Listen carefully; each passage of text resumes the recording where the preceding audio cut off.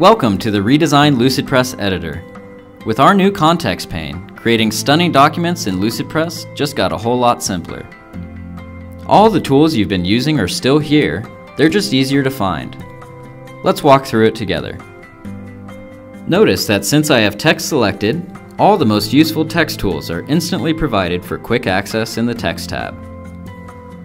If you can't find what you're looking for on the surface, expand any section to gain access to more advanced tools in the same category. To find general formatting options like fill, border, shadow, and opacity, open the Style tab. Notice if I select a different type of content, the Primary tab now changes to show the most useful tools for the new selection.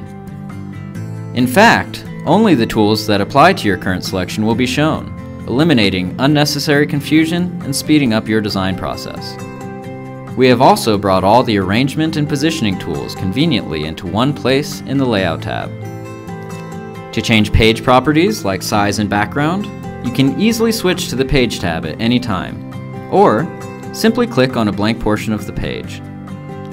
If you want to learn more, check out our tutorials. We hope you enjoy the new LucidPress editor. As always, don't hesitate to reach out and let us know what you think.